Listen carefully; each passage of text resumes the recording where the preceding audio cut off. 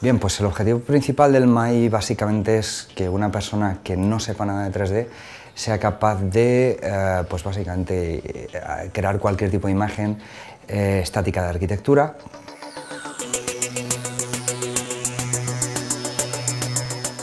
Normalmente les suelo decir a los alumnos cuando comienzan el curso es que la curva de aprendizaje del 3D Studio Max es una curva compleja, donde al principio cuesta mucho y llega un momento donde la zona se estabiliza y como por arte de magia ya sabes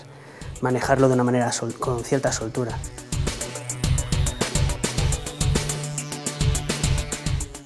Es intentar salvar dentro del propio curso esa parte más mm, difícil de esa curvatura, de tal manera que cuando el alumno sale al mercado pues ya tiene cierta soltura, es decir,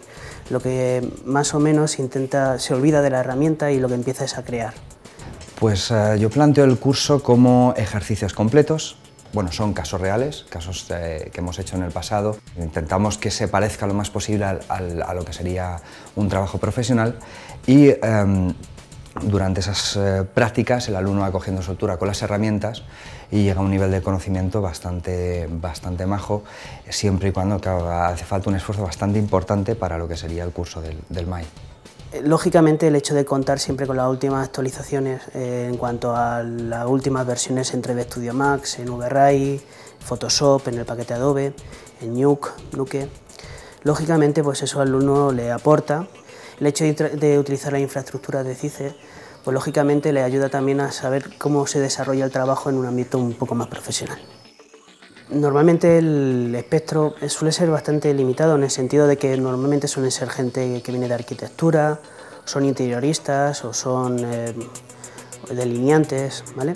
Pero en principio también eh, viene gente de todos los ámbitos, tanto del ámbito de un poco más artístico, incluso gente que simplemente le llama la atención este mundo e intenta abarcarse en un nuevo proyecto. Sin embargo, nosotros lo que intentamos obtener es lo máximo de cada alumno.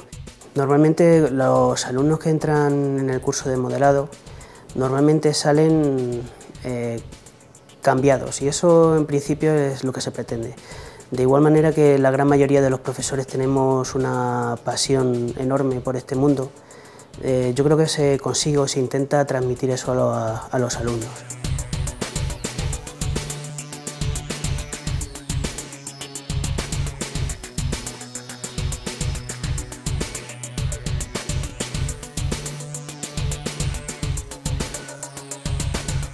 Lo más importante es que durante el curso se disfrute de lo que se está haciendo, pero hay multitud de puestos laborales a los que se pueden acceder.